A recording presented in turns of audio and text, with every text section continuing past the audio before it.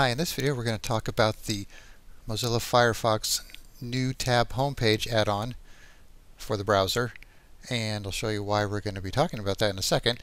But so we're, recording this on a Windows 7 VM with a brand new installation of Firefox.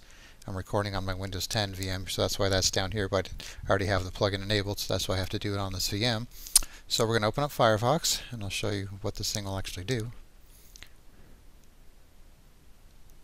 So as you can see here we have Google as our home page and that was set under tools and options.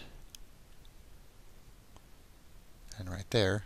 And if you don't have the menu bar up here you could just right click and check for menu bar then it'll add your menu up there. So anyway, so you'll notice there's the new tab little button here. So if we click on that it opens up all this other stuff you know history or suggested websites and then we'd have to click on home to go home, but we want it to where we click on a new website to go right to our home page, which is Google.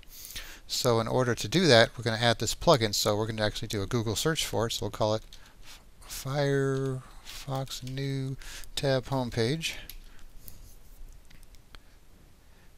And then we'll look for the right one here. Right here.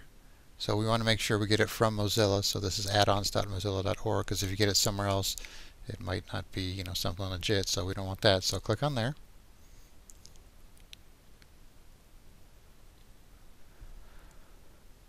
Okay so now we're going to add this add-on to Firefox by clicking this button here and clicking add here and then clicking OK. And now most of the times when you do an add-on you have to close the browser and restart so let's just do that just to make sure there Okay, so now when we click the new tab button here, we should get another Google page. And we do, so every time we do that, we'll get Google, which is our home page. So now if you go to Tools and Add-ons, it'll show our add-ons. So here, right there, new tab home page, and we could disable it and remove it from there if we don't want it.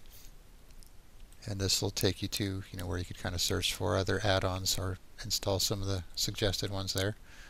And then there's plugins, which is different. It's kind of like an add-on, but it's different. So like for Shockwave and, and that kind of thing, they'll be under plugins. So extensions will show your add-ons there.